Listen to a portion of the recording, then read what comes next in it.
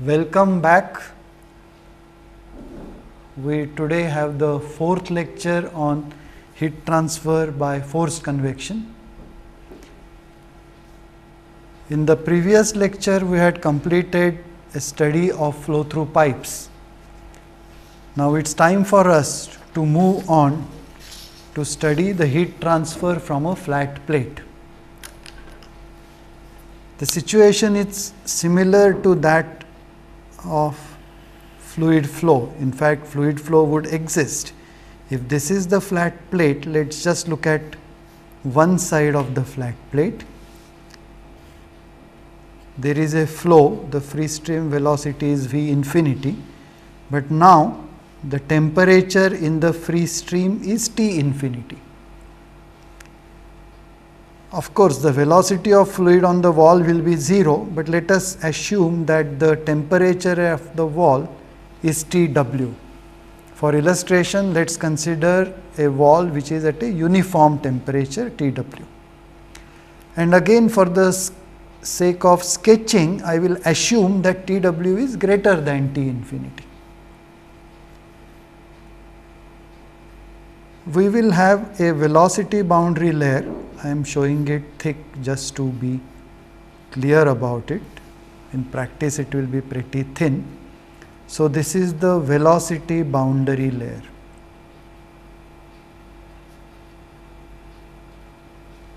At some point, let us say you take a section here, at the edge of the boundary layer, the velocity would be v infinity till the edge it will remain v infinity it will reduce to 0 at the wall. I will use a different color to show you the temperature boundary layer. Let us say that if this is the reference axis, let me say this is T infinity.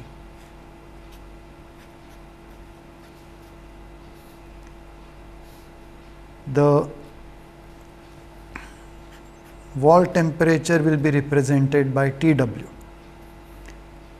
and the temperature would increase as you approach the wall from T infinity to Tw.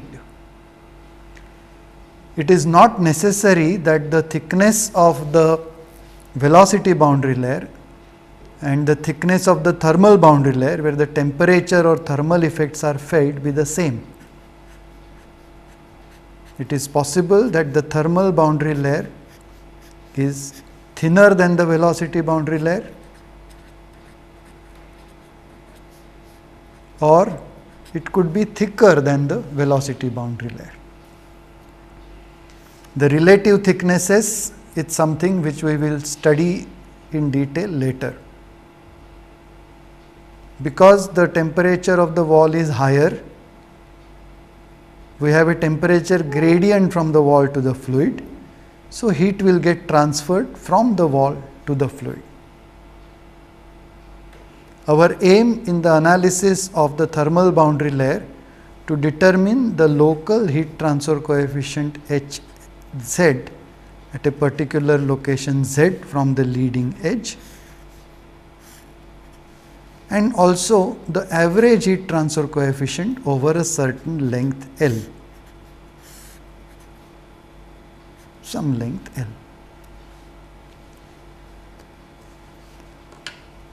Let us look at the energy equation for the boundary layer. The energy equation for the boundary layer looks similar to the conservation of momentum equation for the boundary layer. In fact, the similarity is uh, striking. It is a simplified equation, it uses the boundary layer approximation and hence you do not have a d square t by dx square term here. This equation needs because there is a second derivative in y, it needs two boundary conditions one a boundary condition at the wall and another a boundary condition in the free stream. For the purpose of illustration, I have assumed a uniform temperature at the wall. So, at y equal to 0 which represents the wall, the temperature is the wall temperature that is one boundary condition. The second boundary condition would be in the free stream as y becomes large outside the boundary layer the temperature approaches the free stream temperature. If instead of a uniform temperature boundary condition on the wall, if we were to have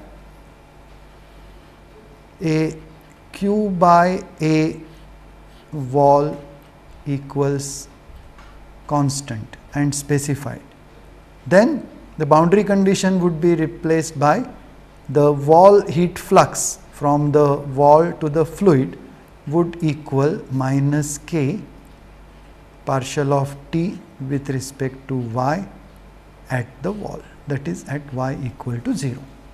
This boundary condition would be replaced by this boundary condition.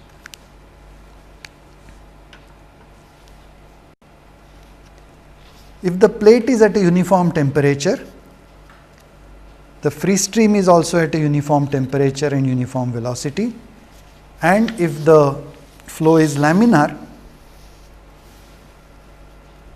the energy equation in the boundary layer can be solved. We need the velocities and velocities come from the solution of the momentum equation. We get a relation for the heat transfer coefficient in terms of the Prandtl number, thermal conductivity K, free stream velocity, kinematic viscosity and location along the plate. This is the local heat transfer coefficient. Of course, we would like to represent it in terms of the Nusselt number which is the local heat transfer coefficient into its position divided by k and you will find that the correlation is in terms of the Nusselt number, local Nusselt number in terms of the local Reynolds number and the Prandtl number. The local Reynolds number is defined as in case of the fluid flow V infinity x divided by the kinematic viscosity.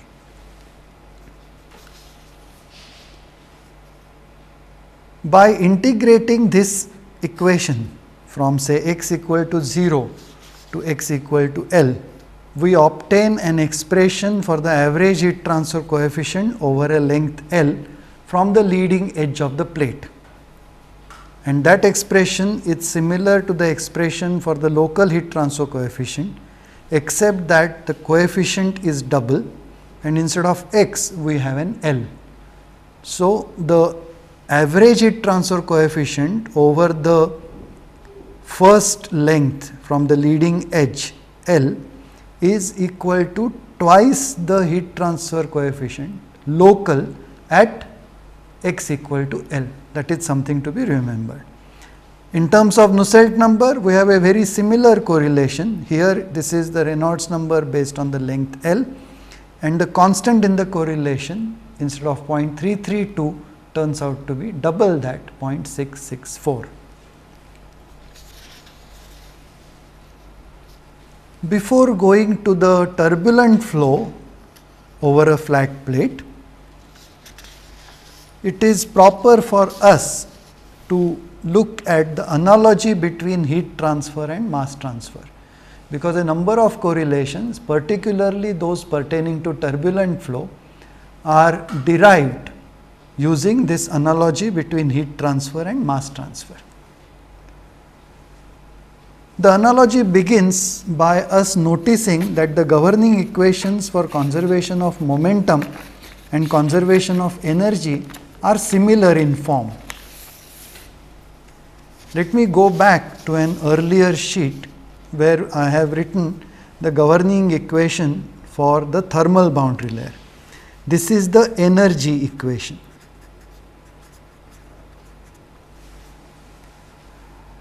I will write below this the equation which we have seen in a previous lecture during fluid flow which is the x momentum equation. And that equation is rho Vx partial of Vx with respect to x plus Vy partial of Vx with respect to y equal to minus partial of p with respect to x plus mu second derivative of Vx with respect to y. With a uniform free stream this is 0 and now you notice that there is a term by term correspondence between the two.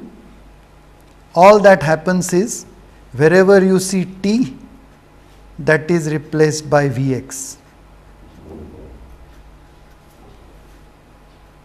Wherever Vx, x, Vy, y occur, they remain as they are. Rho Cp is in place of rho and mu gets replaced by k. Even the boundary conditions are similar. One value of velocity at the wall, another value of velocity in the free stream. One value of temperature at the wall, another value of temperature in the free stream. Consequently, we expect that the solution for this equation would be very similar to the solution for this equation. And hence, the result which we obtain would also be similar except that because of the dynamics of k, mu and Cp which occur at different places in different equations, Prandtl number will play a role to some extent. Let us look at the similarity in the final correlations. We have for drag on a flat plate and for the heat transfer from it of course in laminar flow this is the equation for the local drag coefficient. This is the expression for the local Nusselt number. And if you divide one by the other, you can show that the Nusselt number divided by Reynolds number divided by Prandtl number raised to one third is nothing but the skin friction coefficient or drag coefficient divided by 2. You compare similarly the expression for the average drag coefficient and the average Nusselt number. A very similar relation is obtained even there. This similarity is generalized in what is known as the Colburn analogy. The Colburn analogy assumes that such relations are applicable in other situations also, independent of geometry, provided the geometry in both cases is similar. Whether the flow is laminar or turbulent, the Colburn analogy assumes that a relation like this would exist. According to the Colburn analogy, for external flow, where you talk of a drag coefficient. Nusselt number divided by Reynolds number into Prandtl number raised to one third would be the drag coefficient divided by 2. And for internal flow, the same ratio Nusselt number divided by Reynolds number into Prandtl number raised to one third will be the friction factor divided by 2. And you would notice if you look at it in detail that this 2 comes out because in the friction factor in the denominator we have rho v squared by 2. That 2 in the denominator continues to appear in this relation. Now using this we will now derive the equation for heat transfer from a flat plate in turbulent flow. We already have an equation for local friction factor in turbulent flow we have seen this earlier. Friction factor local is 0.0592 into Reynolds number at x raised to minus 0.2. Using the Colburn analogy, we will say Nusselt number, local Nusselt number would be local friction factor divided by 2 multiplied by local Reynolds number multiplied by Prandtl raised to one third. And you will find that this turns out to be 0.0296 REX raised to 0.8 Prandtl raised to one third. It turns out that this equation agrees well with experimental data in this range. For the critical Reynolds number where the flow becomes turbulent up to 10 raised to 7 and Prandtl number from 0.7 to 100. For this the properties need to be evaluated at the mean film temperature. Now notice that this is applicable only when the flow is turbulent.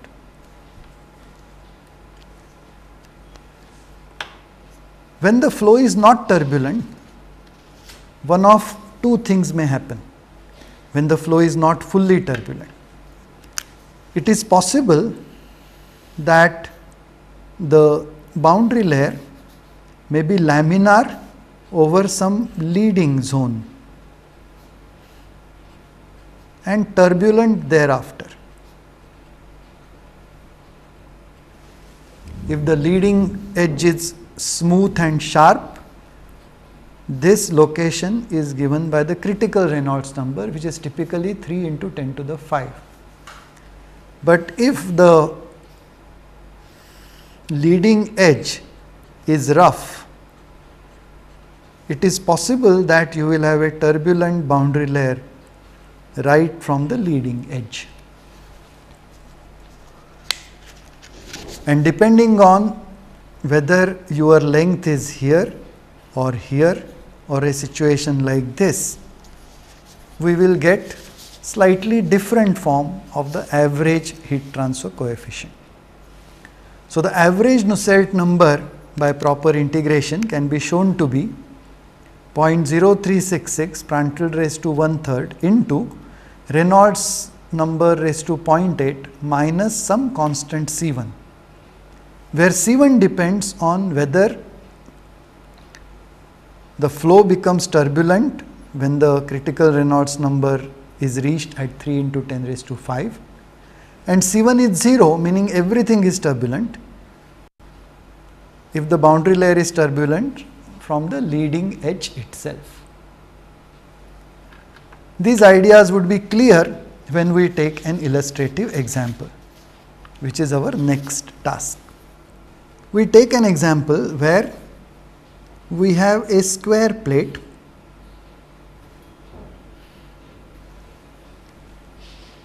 size of 0.5 meters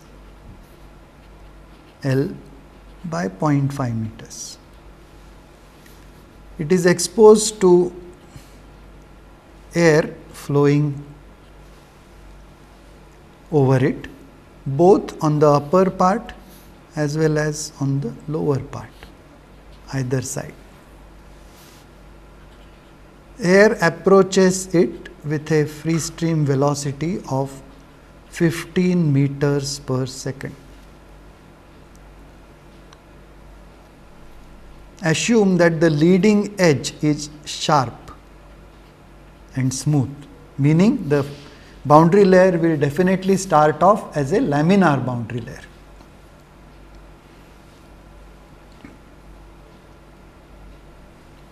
the free stream temperature is 30 degrees C and the wall temperature is 50 degrees C. We have to determine the drag force and we have to determine the heat transfer rate. Remember that the action is on either side of the plate. This is the first part of the problem.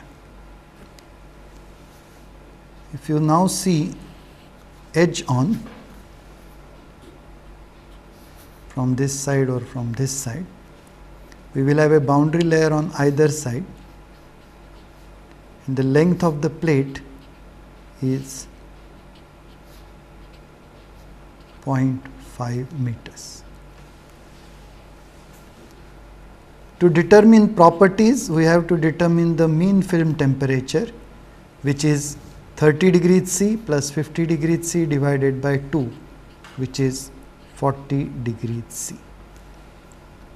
At this temperature the fluid is air so we can read off the properties density 1.128 kg per meter cube. Kinematic viscosity is 16.96 into 10 raised to minus 6 meter square per second. Conductivity 0.0276 watt per meter Kelvin. Prandtl number of 0.699. We first calculate the Reynolds number REL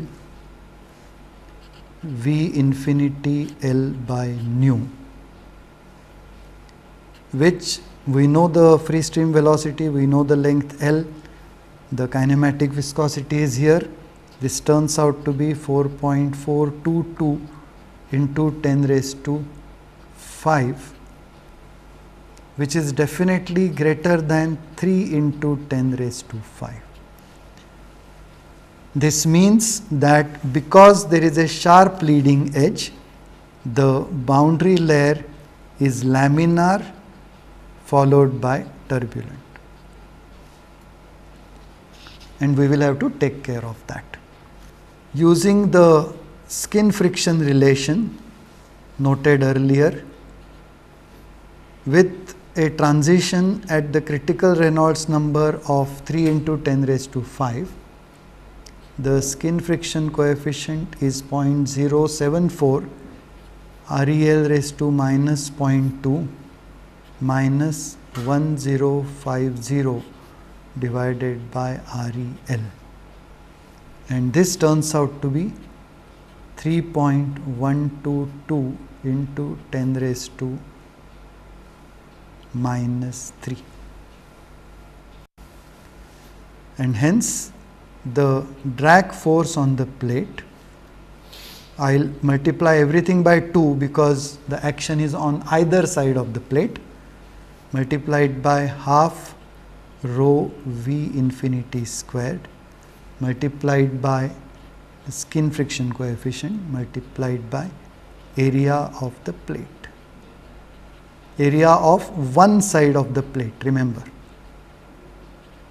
that is because I already have a 2 here and substituting in this you will get this to be 0.198 Newton.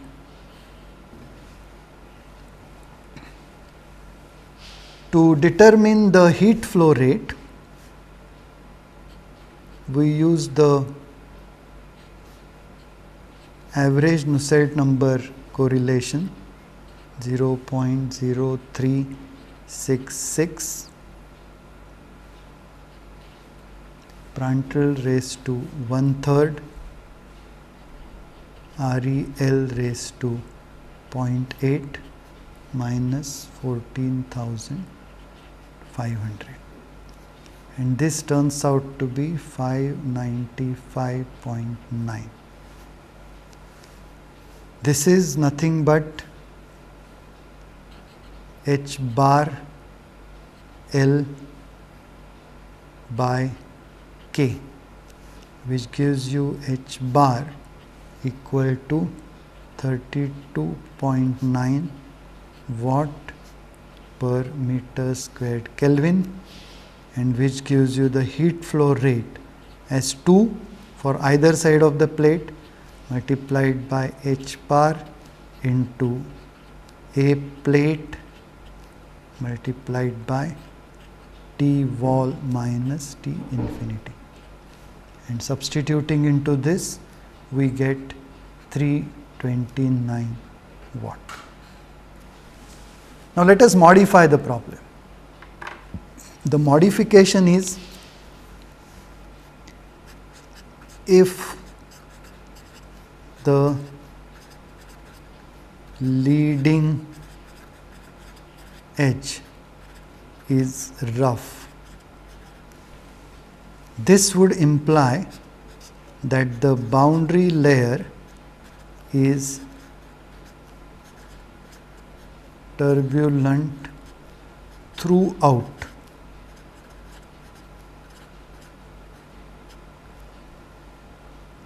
And if the boundary layer is turbulent throughout, these two expressions are still valid, but this expression without this term and this expression without this term. So, naturally, since both these terms subtract something and we will not be subtracting that, we will get a higher value of Cf and a higher value of Nu bar d. Let us see how much higher. I will not rewrite those expression, but it turns out that in this case Cf is 5.497 into 10 raised to minus 3 giving you a drag force of 0.349 Newton instead of the earlier value of 0.198 Newton for comparison and your Nu bar L turns out to be 1066.9 compared to 590 sorry 595.9 earlier h bar turns out to be 58.9 watt per meter squared Kelvin. The earlier value was 32.9 watt per meter squared Kelvin and hence your Q turns out to be 589 watt. The earlier value was 329 watt. So, notice that by making the leading edge rough or putting it a burr or a tripping wire or something like that to see to it that the boundary layer becomes turbulent right from the leading edge, we are able to increase the value of the heat transfer coefficient and the heat flow rate. So, we are able to provide better cooling, but even the drag force is higher. We now go and look at a study of the heat transfer from a cylinder in cross flow. A cylinder in cross flow has been looked at in fluid mechanics. Now we look at the heat transfer aspects. A cylinder in cross flow is a situation of basic interest, applied interest and hence a large amount of studies both analytical and experimental have been conducted on this situation. One of the earlier correlations historically well known is that by Hilpert for heat transfer, but we do not use it anymore basically because not only is it old data, but it is based only on data for air. So, maybe you can use it for gases which have similar properties to that of air, but you can't use it for liquids. The correlation which has been recommended recently and which has been found to agree with a wide range of experimental data is that of Churchill and Bernstein. Let us look at that correlation. Notice that the correlation occupies almost one whole page of this display. I am not going to read it out because that would take quite a few minutes, but you should notice that it is a correlation for the average Nusselt number. It depends on the Reynolds number based on the diameter and the Prandtl number. And you have all sorts of factors Reynolds number raised to half, Prandtl number raised to one third, Prandtl number raised to two third, Reynolds number divided by something raised to 5 8, I think if you want to calculate, you will write a small program and let the calculations be done by that. It looks complicated, but it is applicable under really a wide range of conditions. Let us look at those conditions.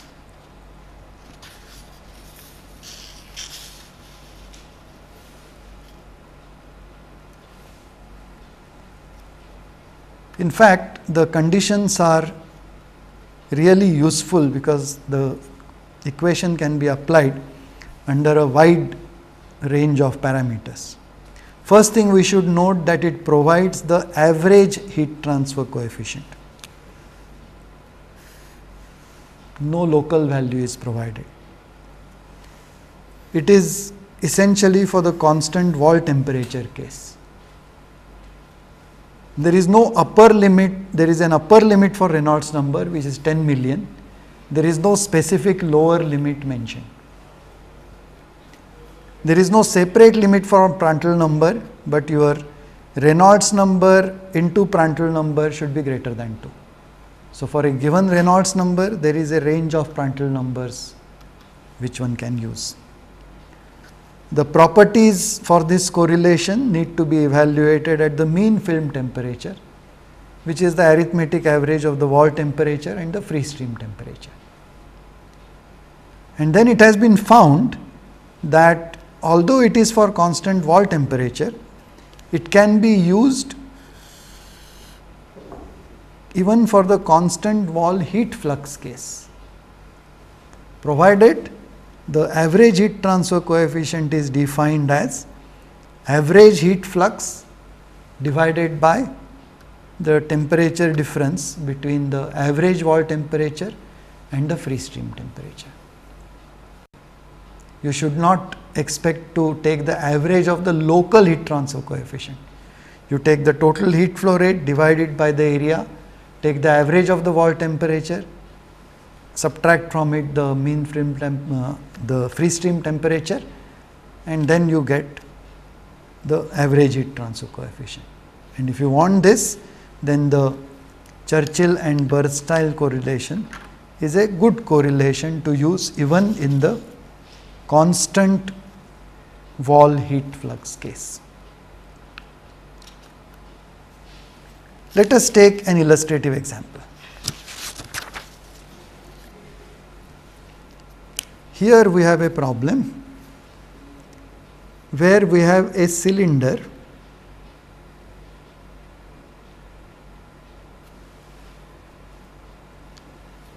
of diameter d which is 75 millimeters. Air flows across it, the approach velocity is 1.2 meters per second. Air conditions of air are 20 degrees C, 1 atmosphere.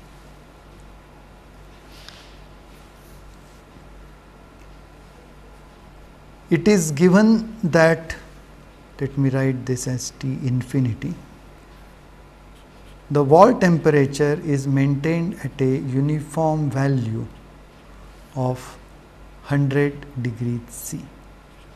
Maybe it is a thin pipe and uh, steam at 1 atmosphere is condensing inside. We have to determine what is the heat transfer from the cylinder to air per unit length of the cylinder unit length perpendicular to the plane of the picture. First, properties are to be determined at the mean film temperature which is 20 plus 100 by 2 which is 60 degrees C. We have air as the working fluid. So, we read off the properties from a table. Density. We do not really need density. Kinematic viscosity 18.97 into 10 raised to minus 6 meters squared per second. Thermal conductivity 0.0290 watt per meter Kelvin. Prandtl number 0.696. First, calculate the Reynolds number based on the diameter. This will be V infinity d by nu and this turns out to be 4744. Okay. Notice that the Reynolds number into Prandtl number it is about 4500 into 0.7 definitely more than 3000 so we are nowhere near the limit of that REPR. Reynolds number is less than 10 to the 7. So we are within the range of the Churchill Bernstein correlation. So I am not going to write the correlation again, but we will get the value of the heat transfer coefficient Nusselt number to be 35.54 from the Churchill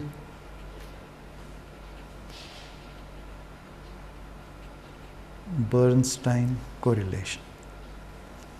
This equals average heat transfer coefficient into diameter divided by conductivity and this gives us h bar to be 13.74 watt per meter squared Kelvin. So the heat flow rate will be notice that for heat transfer the heat flow rate is always average heat transfer coefficient into area the area across which heat transfer takes place multiplied by wall temperature minus the free stream temperature. In this case the area happens to be pi into d into whatever is the length L of the cylinder multiplied by T wall minus T infinity.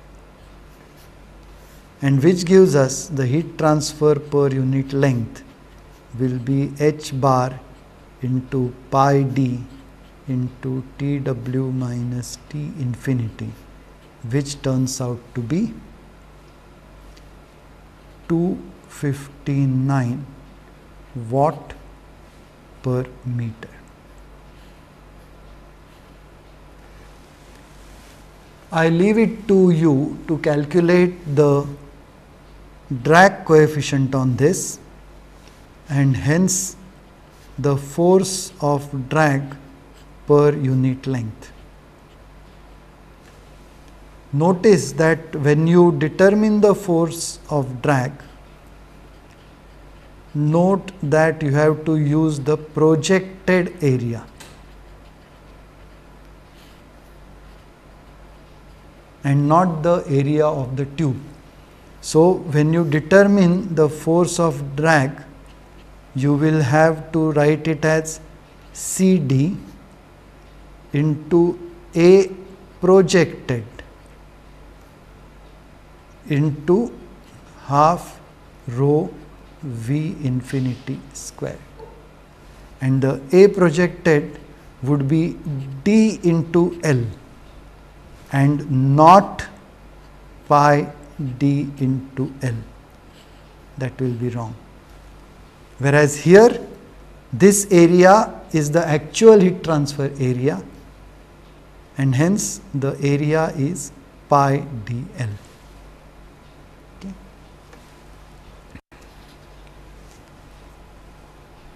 Now that brings us essentially to the end of the study of force convection. Let us see what we have done. We looked at some basic situation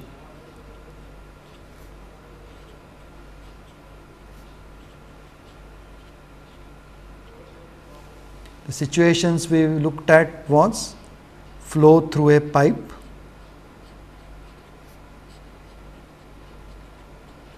or a tube. Then we looked at flow over a flat plate for which we looked at the boundary layer approximation.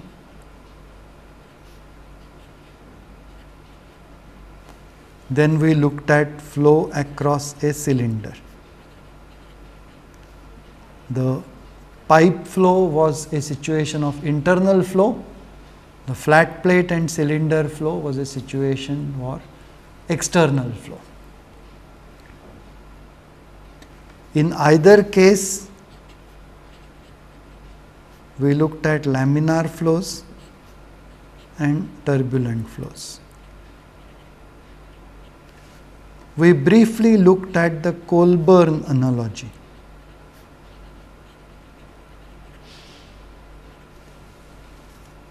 Using which we could convert many of the correlations for friction factor or skin friction or drag to the appropriate correlation for heat transfer. Then we looked at a number of correlations while doing this, both for laminar flow, for turbulent flow, average Nusselt number, local Nusselt number.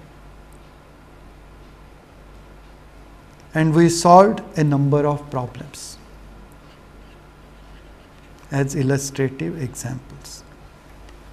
The situations considered here were essentially basic situations. In actual practice, the geometries are different, the flow conditions are different, and appropriate correlations are available for a large number of situations of practical interest, of industrial interest. So, for other geometries and other flow situations, you will have to look up advanced textbooks or compilations or handbooks.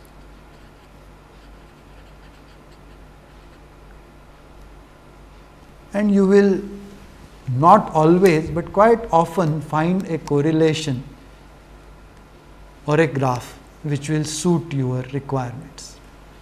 Anytime you use this, Remember what we had mentioned earlier. Check that you are using it under the appropriate conditions. Check that it is for laminar or turbulent flow as required. Your Reynolds number is within range, Prandtl number is within range, and the properties are evaluated at the appropriate reference temperature. It will usually be the mean bulk temperature for pipe flow or the local bulk temperature for local heat transfer in pipe flow or it would usually be the mean film temperature in case of external flow.